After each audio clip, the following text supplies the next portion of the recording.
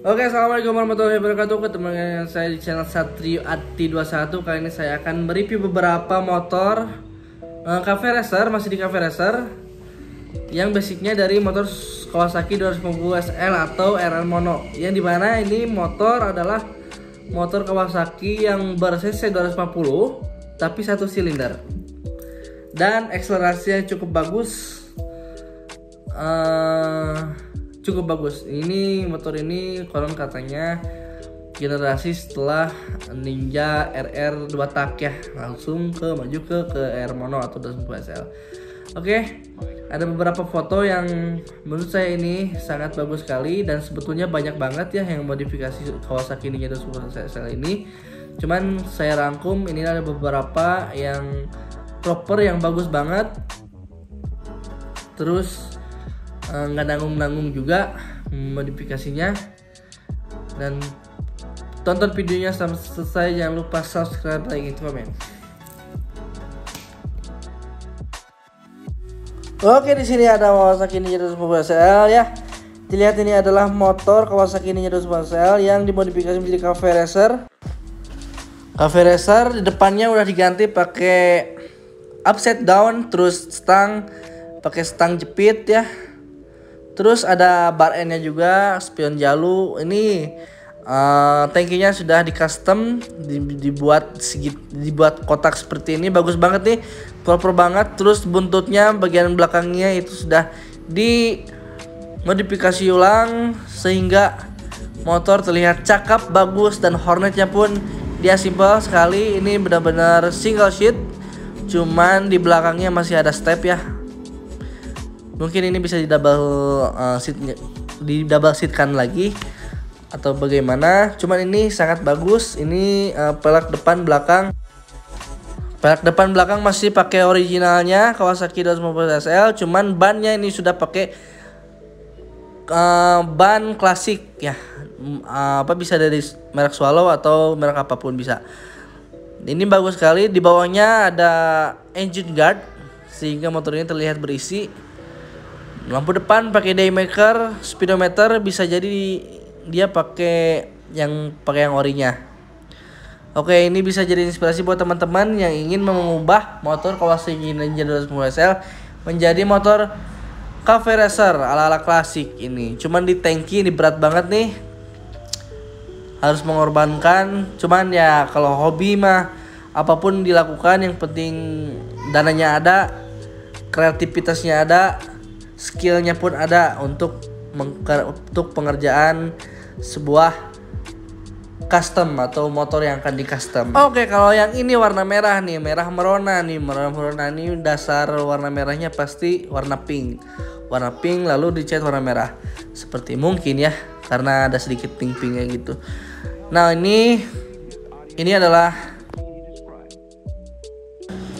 ini adalah motor Kawasaki Ninja 250 SL yang dimodifikasi menjadi seperti ini. Ini bisa dijadikan cafe racer, bisa juga dijadikan flat tracker. Nah ini sangat menarik sekali. Di bagian belakang ini dirubah total. Lah ini shockbreakernya pun dirubah menjadi double shock. Pakai shockbreaker tabung sehingga motor ini proper proporsi juga Terus depan subbreaker depan diganti menjadi uh, subbreaker upside down. Jadi perkakian ini udah diganti dari yang aslinya. Hornet belakang sangat uh, minimalis. Jok warna coklat di model roti seperti itu. Dan ini stangnya stangnya pakai stang uh, ala santai gitu ya. Ala scrambler ini motor bisa jadi inspirasi teman-teman juga yang mencari 210 apa? Yang punya motor 210 SL jika dijadikan seperti ini ya mungkin pengorbanannya banyak banget. Sebleker diganti terus armnya juga pasti diganti atau dimodifikasi. Sebleker depan harus beli terus tangki tentu harus diganti jok hornet. Ya mungkin ini motor akan mengeluarkan cukup yang akan mengeluarkan uang yang cukup lumayan besar Oke, kita lanjut ke foto seling selanjutnya. Mungkin ini bisa jadi inspirasi teman-teman ya. Oke. Nah, ini ini cukup cukup brutal juga sama. Cuman ya coba kita perhatikan tangki sudah tentu ini diganti. Belakang juga diganti dan uh, sasis ini sasis belakang tentu dipotong dan dimodifikasi menjadi seperti ini. Nah, ini cukup lumayan apa mau harus harus mengorbankan ya harus mengorbankan sisi dari ori ke originalnya dari Kawasaki Ninja 250 SL ini tangki pakai tangki yang seperti ini sehingga rangka pun harus mengikuti tangki dan jok belakang harus lurus dari depan ke belakang harus lurus tuh terlihat lalu Sobleker depan masih pakai original, pelak masih pakai original, sobleker depan belakang masih pakai original, pelak wheel set masih pakai original. Hanya lampu, tangki dan hornet belakang ini yang dirubah, yang diganti. Oke. Ini cukup terlihat simpel, cuman memang harus ada dikorbankan. Ya, itu frame. Kalau nggak dikorbankan, ya nggak akan menjadi seperti ini. Dan jika mau di originalkan kembali ini susah karena uh, sulit untuk diproporsikan lagi sulit untuk di uh, di las. Istilahnya mah susah untuk disenterkan lagi ya disenterkan lagi. Oke selanjutnya ada foto. Ini foto Kawasaki 250 SL ini menurut saya yang paling bagus paling proper paling nyeni. Semuanya pun nyeni semua pun berseni semuanya pun mempunyai kreativitasnya masing-masing dan ciri khasnya masing-masing. Kalau tapi kalau misalkan yang ini menurut saya bagus sekali proporsi sekali. Terlihat dari tangki yang yang bentuknya seperti ini ya. Bisa jadi inspirasi teman-teman nih tangki yang bentuknya seperti ini terus uh, hornet belakang yang bentuknya di ya seperti ini kan. Tuh simple ini bener-bener single seat cuman masih ada step tuh ya. Ini bener-bener single seat. Bodinya minimalis warna orange itu bisa custom ya teman-teman mau warna apa cuman bentuknya ini bagus banget terus di bagian rangka bagian depan nih dia pakai cover kayaknya. Pakai cover sehingga tertutup seperti data box. Cuman bukan data box karena cuman seutet gitu kan. Si covernya terus depannya pakai pakai soblekan upside down. Terus wheel setnya sudah diganti menjadi jari-jari atau ya jari-jari atau ruji-ruji.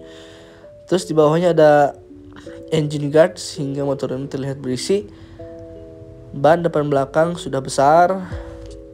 Lampunya pun dia bulat warna chrome. Ini bagus banget. Bisa jadi inspirasi buat teman-teman. Custom aja buat tanki ya. Itu bisa di custom.